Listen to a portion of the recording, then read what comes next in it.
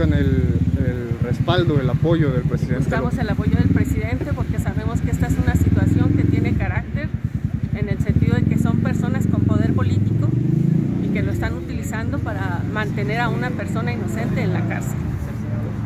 Ah, como menciona, es, es un caso de la Fiscalía Capitalina. ¿Ven alguna intervención de, de autoridades locales, de la Fiscalía Federal? Algo por eso? Las intervenciones son la de la Fiscalía de Tlalpan, que fue la que creó la carpeta, y la Unidad de Gestión Administrativa número 11 y número 12. En la 12 fue donde se presentó inicialmente el caso, en la primera audiencia con el juez Júpiter, Júpiter López Ruiz, quien fijó una, un billete de garantía, el mismo que se entregó, y el billete de garantía está depositado y mi hija también está detenida.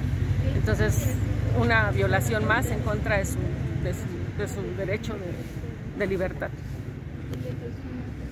¿Un mensaje que quiera mandar respecto a esta situación? Buscamos el apoyo de las autoridades, sabemos que nuestro presidente y sus funcionarios son personas que son sensibles a estas situaciones y por ello es que buscamos el apoyo para conseguir una audiencia con él y explicarle cuál es la situación y que él sepa los detalles de, esta, eh, de estos beneficios que él obtendría si el señor Vicente Fox continuaba eh, presionando para que la reforma energética no se, no se llevase a cabo. Entonces, esto es parte de, toda un, una estructura en contra de, de, mi hija, quien se encuentra detenida, insisto, mañana cumple 50 días detenida y obviamente en las condiciones que, que pueden suceder en un penal como Santa Marta, en donde hay 14 reclusas en una área de 12 o 13 metros.